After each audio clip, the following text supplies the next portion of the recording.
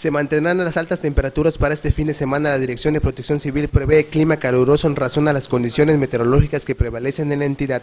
En razón de la perspectiva general de la atmósfera, todo parece indicar que van a continuar eh, en días muy similares a los que han estado presentándose en el transcurso de la semana, largos periodos de sol, poca actividad de nubosidad, eh, lluvias pues prácticamente serían ya ocasionales. Las temperaturas oscilarán en 37 grados centígrados como máxima y 26 grados como mínimas, pero con sensación térmica de hasta 43 grados centígrados. Y el calor eh, va a continuar en temperaturas muy calurosas, pues estamos hablando en promedios entre 35 y 37 grados y la sensación térmica pues por ahí en promedios de 42, 43 grados, principalmente en horas del mediodía. Las mínimas estarán oscilando entre los 24, 26 grados, o sea, tendremos días muy calurosos y noches calurosas. Mencionó que se mantiene en monitoreo una onda tropical en el Caribe al sur de la República Dominicana, la cual no presenta probabilidad de desarrollo. Sin embargo, dos bajas presiones al este-suroeste de las islas de Cabo Verde presentan 40% de probabilidad de evolucionar a un sistema tropical,